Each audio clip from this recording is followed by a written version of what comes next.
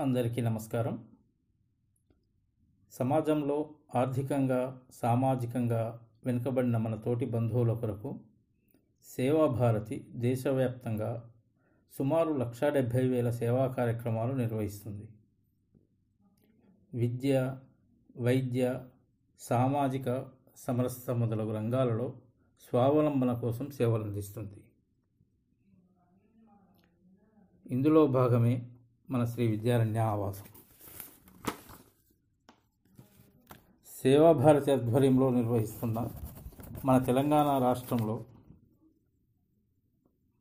వివిధ ఆవాసాలలో పదవ తరగతి పూర్తయిన విద్యార్థులకు అలాగే నిరుపేద నిరాశ్రిత సేవాబస్తీ వనవాసి బాలులకు ముఖ్యంగా ఉన్నత విద్యను అభ్యసించాలనే ఆసక్తి ఉండి చదువుకునే ఆర్థిక స్తోమత లేని విద్యార్థులకు ఉచిత విద్య వసతి భోజన సదుపాయాలు అందించి వారిని ఉత్తమ దేశభక్త పౌరులుగా తీర్చిదిద్దాలనే ఉన్నత లక్ష్యంతో మన ఈ శ్రీ విద్యారణ్య ఆవాసం ప్రారంభించడం జరిగింది. ప్రతి విద్యార్థికి ఇంటర్ చదువు ఆ వయస్సు అతి ముఖ్యమైనవి. వివిధ ఆకర్షణలకు లోనై పక్కదారి పట్టే సమయం అది. అందుకే ఈ విద్యార్థులకు చదువుతో పాటు ఆటలు పాటలు యోగా కరాటే క్విజ్ దేశభక్తుల కథలు మొదలగు వాటిలో శిక్షణనిస్తూ వారిని శారీరకంగా మానసికంగా ఉన్నత వ్యక్తులుగా తీర్చిదిద్దే ప్రయత్నం జరుగుతున్నది. వరంగల్ అర్బన్ జిల్లా మడికొండలోని వ్యాసపురి కాలనీలో సొంత భవనంలో ఈ ఆవాసం నిర్వహిస్తున్నాం. రెండు వేల పన్నెండులో ఇరవై నాలుగు మంది విద్యార్థులతో ప్రారంభమైన మన ఆవాసంలో ప్రస్తుతం ముప్పై మంది విద్యార్థులు ఉన్నారు. ఎనభై ఆరు మంది విద్యార్థులు ఇంటర్ విద్యను పూర్తి చేశారు. ఈ విద్యార్థులలో ఒక విద్యార్థి బీఎస్ఎఫ్ అంటే బార్డర్ సెక్యూరిటీ ఫోర్స్లో ఉద్యోగం చేస్తున్నాడు. ఒక విద్యార్థి తెలంగాణ రాష్ట్ర వ్యవసాయ శాఖలో ఉద్యోగం చేస్తున్నాడు. ఆరు మంది విద్యార్థులు బీటెక్ ఇద్దరు విద్యార్థులు పీజీ ముగ్గురు విద్యార్థులు టీటీసీ పదహారు మంది విద్యార్థులు డిగ్రీ పూర్తి చేసినారు.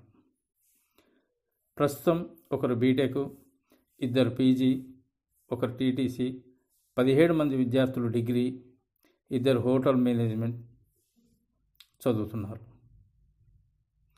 మిగిలిన వారు సొంత వృత్తులు లేదా ప్రైవేట్ ఉద్యోగాలు చేస్తున్నారు. ప్రాంత సేవా భారతి స్థానిక దాతల సహాయంతో మన ఆవాసం నిర్వహణ జరుగుతుంది. స్థానిక ప్రబంధకారిని ప్రతి నెల సమావేశమై ఆవాసం అభివృద్ధి కొరకు చర్చించి తదనుగుణంగా నిర్ణయాలు తీసుకొని తమ అమూల్య సమయాన్ని ఇస్తున్నారు మన శ్రీ విద్యారణ్య ఆవాసంలో ప్రతి సంవత్సరం జాతీయ పండుగలతో పాటు వినాయక నవరాత్రి ఉత్సవాలు రక్షాబంధన్ వంటి సాంస్కృతిక పండుగలు యోగ శిక్షణ తరగతులు వార్షికోత్సవం మరియు దేశభక్తుల జయంతి ఉత్సవాలు నిర్వహించబడుతుంటాయి. అలాగే వివిధ ఆవాసాలలో పదవ తరగతి చదువుతున్న విద్యార్థులకు అన్ని సబ్జెక్టుల్లో శిక్షణ కూడా ఇస్తున్నాం. ఒక ఆవాస నిర్వహణే కాకుండా మనం చేస్తున్నటువంటి ఇతర సేవా కార్యక్రమాలు కూడా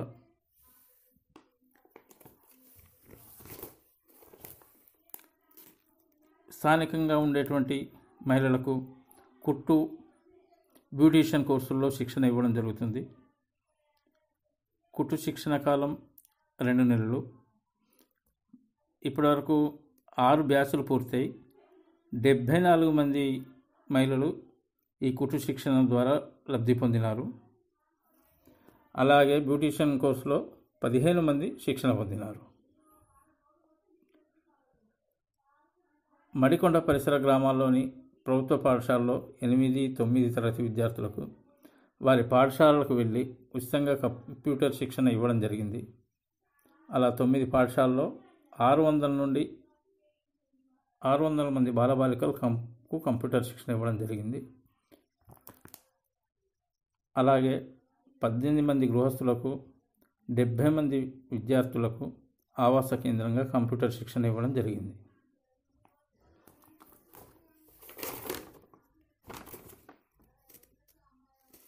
ఈ ఆవాసం నిర్వహణలో ప్రారంభం నుండి